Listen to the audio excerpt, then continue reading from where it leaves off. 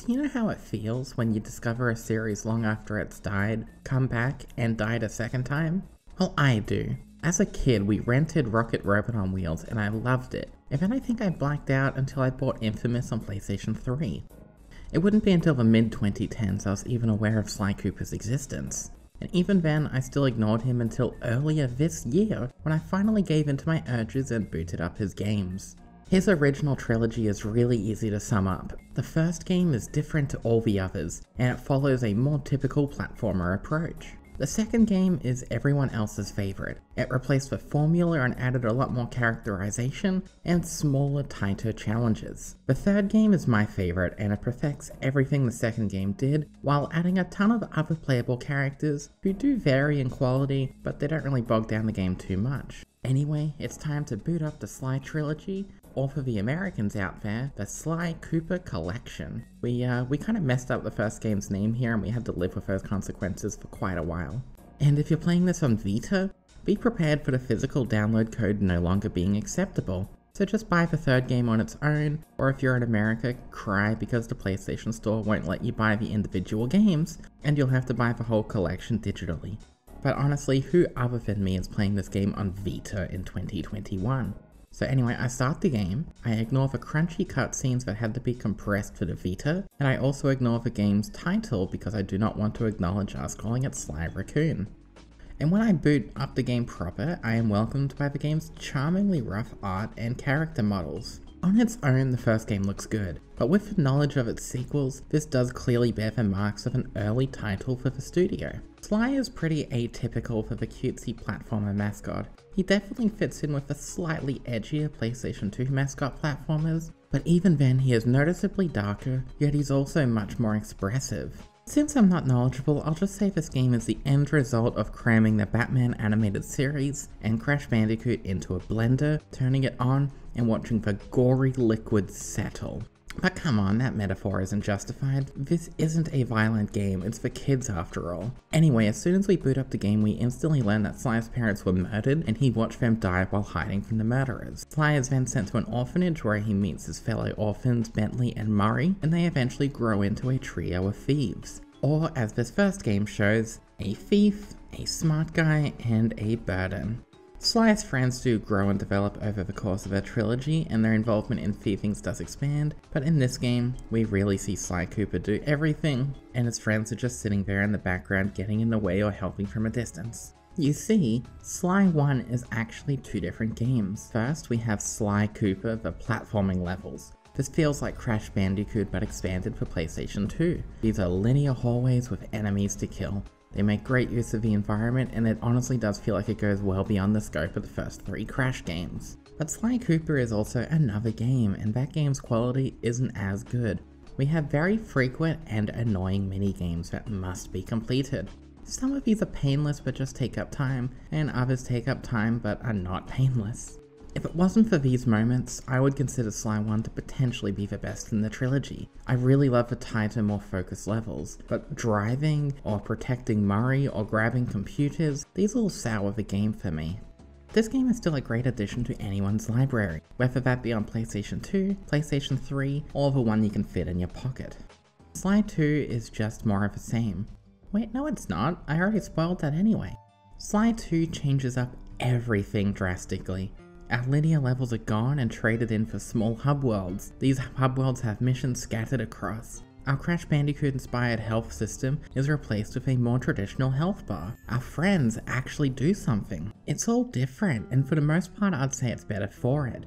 I do miss the more focused platforming levels and would love to see the series do this again, but what we have here is a true stealth game instead of Crash Bandicoot with sightlines and alarms.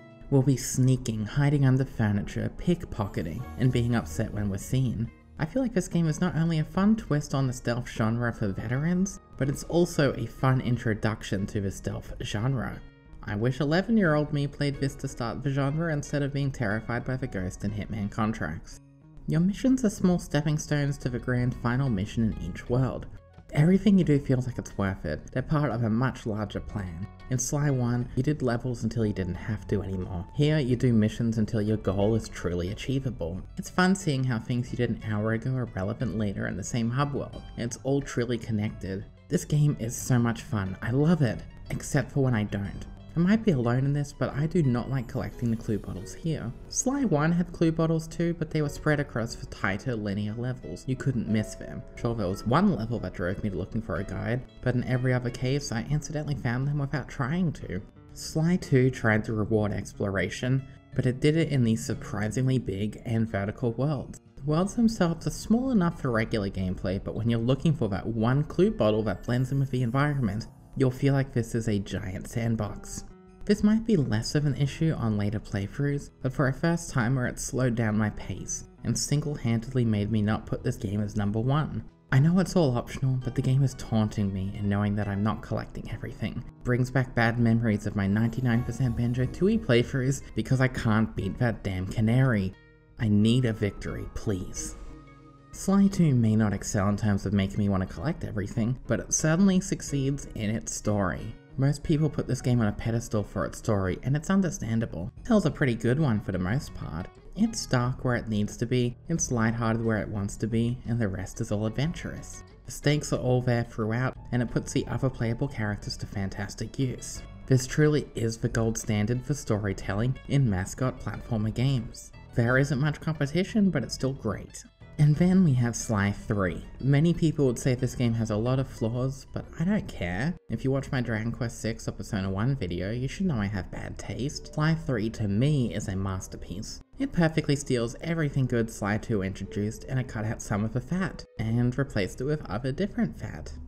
I would say if you love Sly 2, you'd love Sly 3, but apparently a lot of others disagree with me. I'd say part of my love for Sly 3 is the fact that the clue bottles were abandoned. Others say this is a bad thing, but I'm happy I can keep the pace up and don't have to look for that last bottle on every level. Maybe Sly 3 could have introduced a system like Sparx' hint system from Spyro 2 and the Reignited trilogy. That could have helped instead of abandoning the system outright. But if it's between bogging the pace down as I try to look for something and not, I think I'd choose not to. I can focus more on stealing, which has also been streamlined we no longer have to sell the items we pickpocket. In the grand scheme of things, I'm saving like what, a minute or two across the entire game, but that's a minute or two I could spend doing literally anything else. It's a nice feature. Another nice feature is that our hub worlds change their lighting after a certain point. This truly makes you feel like time has passed and the world isn't quite as static. Our cast is truly hiding out and planning their missions, even as the sun rises into the morning and sets at night. The hub worlds also feel like they're better designed for Bentley and Murray, and even if they weren't, their movement options have been dramatically improved. If I took these versions of the characters into Sly 2, I'd feel much more welcome, but Sly 3's level design being much more accommodating makes me love playing as these characters when I don't have to. These characters can even steal now too, which is a feature Sly 2 should have had. It really feels like every second you're playing as any character is well worth it. This game is truly accommodating to them, and it feels like by far the best representation for the trio. It even does more than just make those two more fun to play as, because Sly himself has better combat options and faster movement options.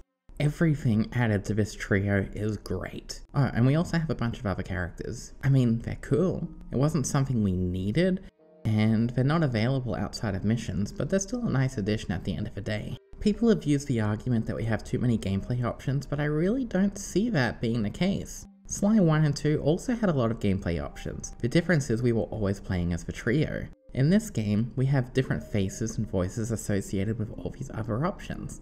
Giving other characters a spotlight would just be a fine addition in its own right, but these new faces are pivotal parts of the game's story and really drive home that things are different for our group. They're getting older, their priorities are changing, and their relationships are also subject to change. Sure, this isn't the big, exciting, climactic end of Sly 2, this is a more down-to-earth story about our places in the world. Well, as much as you can do on a PlayStation 2 platformer, that is. The Sly trilogy is simply fantastic, and I'd say it was ported wonderfully to the Vita. Sure, we have less buttons, but we also don't have that really weird 16 by 9 glitch the PlayStation 3 version has, so it's a win for me. Sly 1 is a fantastic linear platformer that will bring back memories of the 90s, even though the game itself is from 2002. Sly 2 is a wonderful entry point to the stealth genre and it tells a great story. And Sly 3 is the one I will defend on the internet for hours and hours on end until I cry because no one else shares my opinion.